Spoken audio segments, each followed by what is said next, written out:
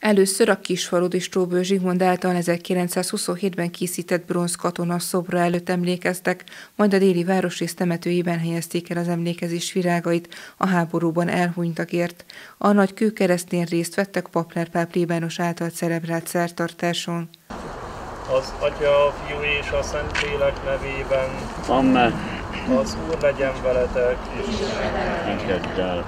Könyörögjünk élet és halál ura, teremtő Istenünk, te halállal büntetted az első ember védkét, amely súlyos örökségként minden emberre átszállt. Kérünk végtelen jóságoddal, hallgass meg könyörgésünket, elhunyt testvéreink, akik részesei lettek a halálnak, Szent Fiat kereszt halálának érdemeiért, legyenek részesei feltámadásának is, Krisztus, ami Urunk által. Amen.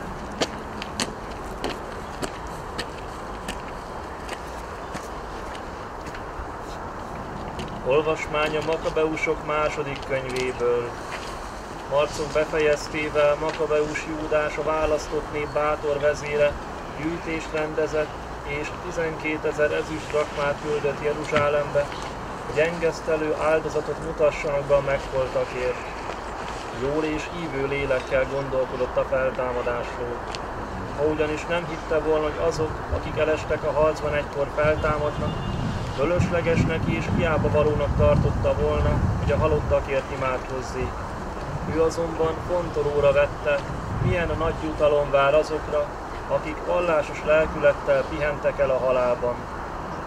Szent és üdvös dolog tehát imádkozni a halottakért, hogy feloldozást nyerjenek bűneiktől. Ez az Isten igéje. Istennek legyen hála. Evangélium Szent Lukács könyvéből.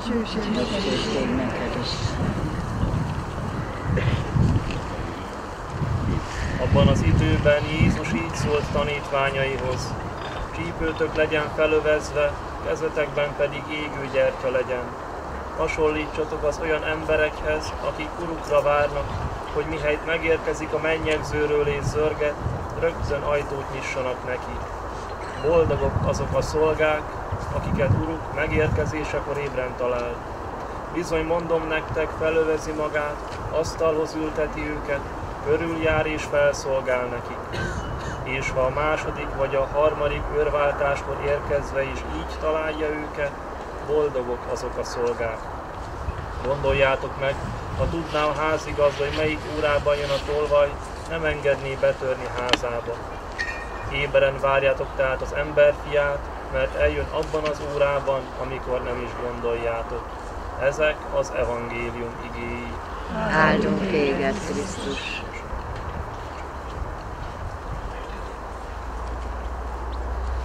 Kedves testvérek,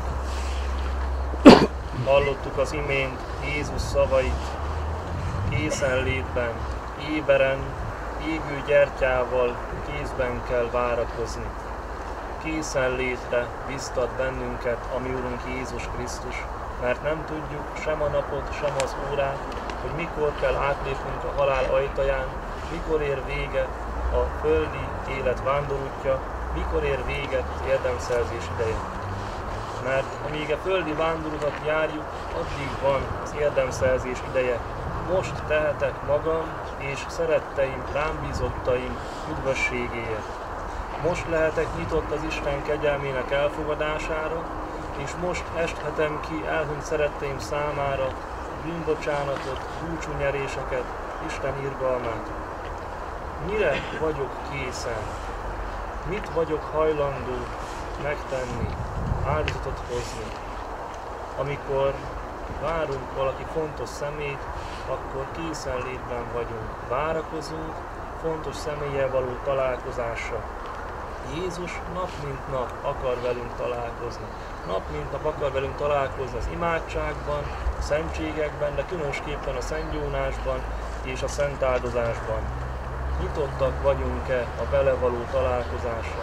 Nyitottak vagyunk-e az ő kegyelmeinek az elfogadására? Készen állunk-e arra, hogy nap mint nap találkozhassunk vele? Mert ha megvan bennünk ez a nyitottság, hogy minden napokban jelen van az életünkben Krisztus, halálunk óráján is találkozhatunk vele, és irgalmas bírunkat találhatunk benne. legyünk nyitottak erre, legyünk készek, tudjunk áldozatot hozni saját üdvösségünkért, elhunyt szeretteink üdvösségért is, hiszen ők már nem tudnak magukon segíteni, mi, akik itt maradtunk, akik még járjuk földi életünk vándorútján, mi vagyunk azok, akik imádkozhatunk értük, szentmisét mondathatunk értük, áldozatot tudunk értük hozni, búcsút tudunk nyerni számukra. Fontoljuk ezt meg, és tegyük ezt meg elhunyt szeretteinkért. Sok gyertya lobban fel ezekben a napokban, temetőkben, templomainkban, otthonainkban. Az emlékezésnek, az imádságnak a lángjai. Hiszen imádkozva állunk most elhunyt szeretteink sírjánál. Törődésünket, szeretetünket kifejezzük azzal, rendbe tartjuk szeretteink sírján, virágot hozunk a sírjukra, gyertyát gyújtunk, értük, rájuk emlékezve. Gyertyát gyújtunk, mely fényt ad, mely meleget ad. Fényt ad, és eszünkbe juttatja Krisztust, aki a világ világossága. Aki utat mutat számunkra a földi élet vándorútján, fényeskedik nekünk, mutatja a helyes utat, egyben elhunyt szeretteink számára is fényeskedik, mint örök világosság.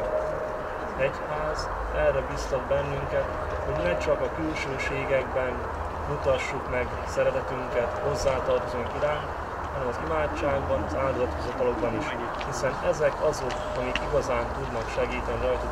Ezekkel tudjuk igazán kifejezni szeretteinket, elmúlt hozzátartozóink, családtagjaink számára.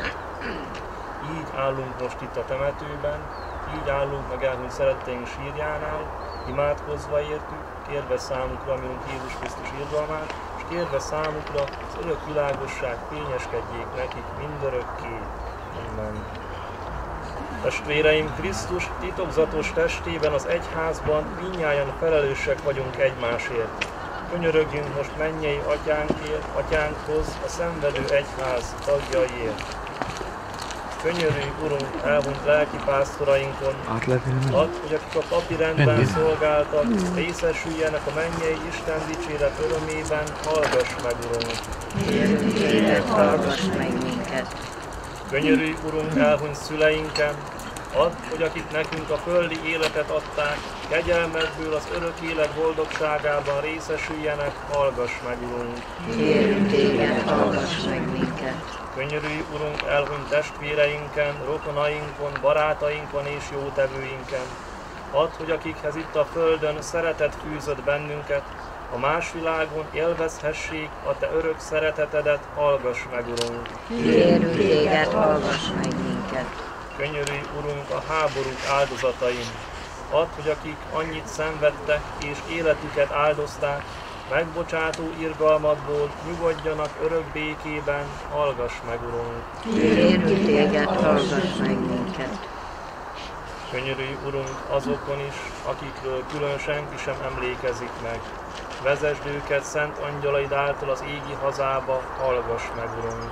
Kérünk téged, hallgass meg minket. Könyörülj, Urunk, a feltámadás reményében elhunyt minden testvérünkön.